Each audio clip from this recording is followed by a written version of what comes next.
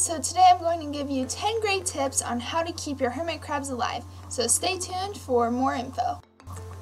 The first and one of the most important tips I have today is to give your hermit crabs deep substrate to bury in. You want at least 6 inches or 4 times the length of the hermit crab. That way, when they go to molt, they have plenty of space. Tip 2 is to buy a thermometer and hydrometer for your crabbitat to keep them at the ideal temperature and humidity. They're pretty cheap and definitely worth it. Hermit crabs need humidity since they have gills instead of lungs. So, to keep my crabbitat humid, I use a spray bottle to just mist it every now and then. It's a lot cheaper and easier than some of the other options out there. Tip 4 is don't buy painted shells for your hermit crabs. They're really bad and even if the paint says it's non-toxic, it can still kill the crabs. So use natural shells instead. Tip 5 may come as a surprise to you, but don't buy hermit crab food. It doesn't give the crabs all the nutrition they need.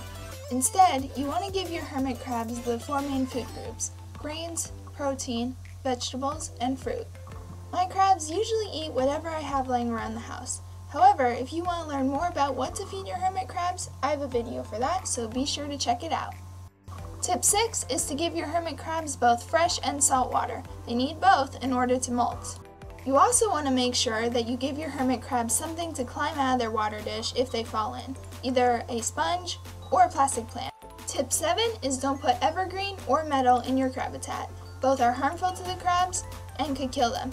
You can still use other types of wood in the crab habitat, just make sure that you boil them first to make sure that they don't have any bacteria on them. Tip 8 is to give your hermit crabs friends.